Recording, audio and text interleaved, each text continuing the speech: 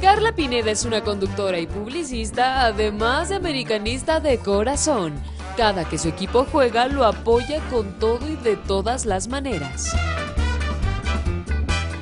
Quiere tanto su equipo que existe el rumor de que mantuvo romances con los jugadores del América, Rubén Zambuesa, Miguel Ayun y Aquivaldo Mosquera al mismo tiempo. Y una época existió el enredo sobre quién de estos dos era el padre de su hijo aunque Carla asegura que el niño es producto del romance que tuvo con Aquivaldo y según la abandonó al saber que estaba embarazada, pero el jugador niega rotundamente la paternidad.